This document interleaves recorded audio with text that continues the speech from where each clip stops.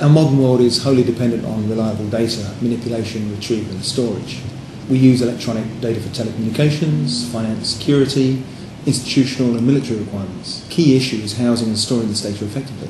Data is used and stored on electronic devices that are enclosed in metal or plastic casings. These electronic devices are concentrated in servers, network devices, or disk storage units. The problem with the concentration of these devices is that they consume energy, and as the density of data increases, then so does the capacity for equipment to handle this flow.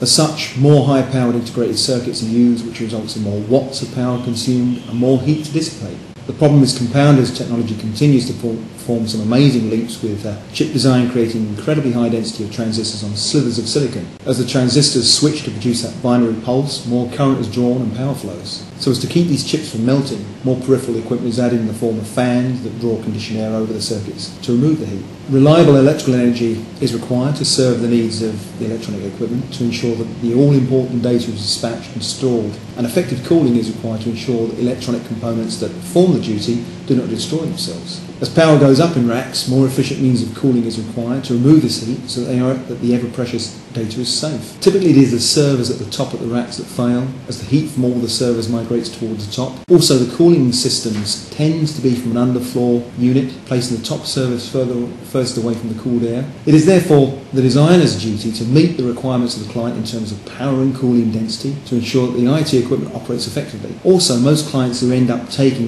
the data center space have strict requirements in terms of power and cooling, set points and monitor these either through voltage and current meters, temperature and humidity sensors on the flow and return systems in the chill water circuits, and airflows in the DC space. These tend to be rigorously adhered to as these are fixed within the service level agreements that are signed between the client and the data center provider.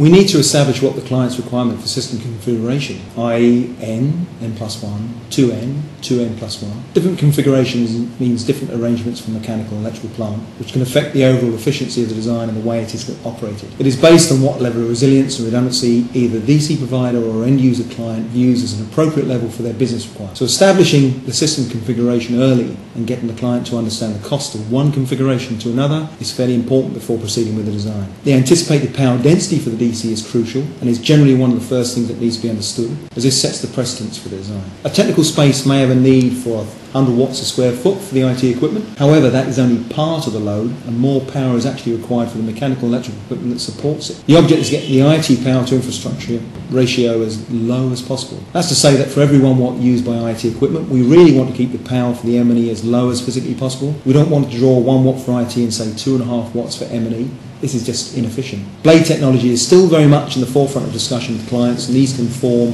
heavy load centres. Cooled cabinets may need to be considered that can handle loads of 16 to 20 kilowatts per rack. This needs to be understood as early as possible. The design for the power system sets the precedence for the mechanical cooling calculations and if the electrical estimate is out by some order of magnitude then so will be the mechanical system. Single points of failure in a system need to be reviewed. Remember, you know, a chain is only as strong as its weakest link. An internal peer review of the system design should be carried out before submission to the contractors or vendors. Remember, it is always easier and less expensive to alter design at the beginning than it is when it has reached the site.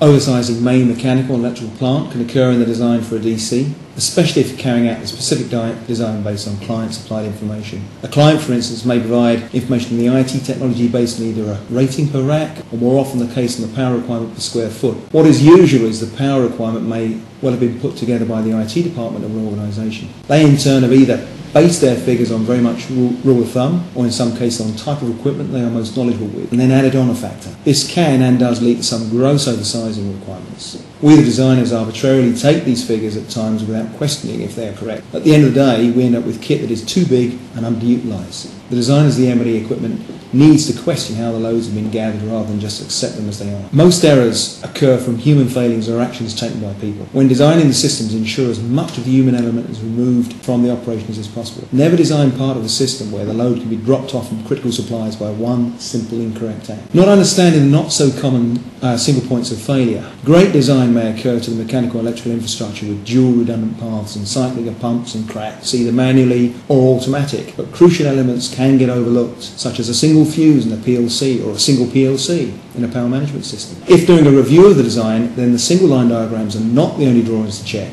but it has to go right the way back to the control diagrams as well. We're not quite talking nuclear industry here, but the same philosophy should generally apply. Energy consumption is still very much a secondary concern when designing the infrastructure that supports DC. Greater performance against lower efficiency does not make sense, and designers can take some measure of blame for not pushing for greater efficiency during the early stages of design. Alternatively, alternatively can be held accountable for building too much fat into a system to ensure the mechanical and electrical equipment can always support the load no matter what. Taking DCs forward into the future will require more analytical approach whereby the IT equipment becomes part of the living chain of how the systems operate. We may eventually see water cooling rather than air systems becoming incorporated into the technology platforms themselves, which is currently under research with some of the leading IT manufacturers. Water-cooled solutions offer greater levels of efficiency as it is approximately 3,400 times better at transferring heat energy away from the source as opposed to air. A DC is a higher power user, which can be up to 20 megawatts or 30 megawatts in consumption. If you think that for every watt consumed we actually lose around 90% of the energy before it even gets to the point of use, then realistically we have to create 200 megawatts of energy to serve a DC's requirement. For fairly large scale users, as a 20 megawatt DC, it actually becomes more favourable to generate the energy on site, especially as we have a fairly constant base load. This would overcome the generation and system losses from the utility company and spare energy could be sold back to the utility to support the grid. The waste heat from the on-site generation plant can also be used, which can be turned into cooling energy by chemical reaction. Therefore, the overall utilisation of energy for the DC improves considerably. Free cooling for DCs is becoming more and more popular, particularly in cool and dry climates, as less latent cooling is required than say for an office. We may also see greater use of new and renewable technology. Fuel cells could be used to support critical power supplies rather than the large, bulky and cumbersome batteries that are currently employed. The actual building envelope could also be designed to incorporate photoelectrics built within the facade, particularly where DCs are located in areas of higher degree days, such as the Middle East, Asia, North America. Overall, I believe the mechanical and electrical systems for the future data center will involve a greater integration into the overall building design and also with the systems it was designed to support. Intelligent networks will use processing information from the server that could directly correlate back to the electrical and mechanical power systems and would either turn equipment off, bypass it to another source, and throttle cooling systems back based on demand rather than set points. The call for energy efficiency coupled with new technologies must ultimately be the driver for the next generation of DCs.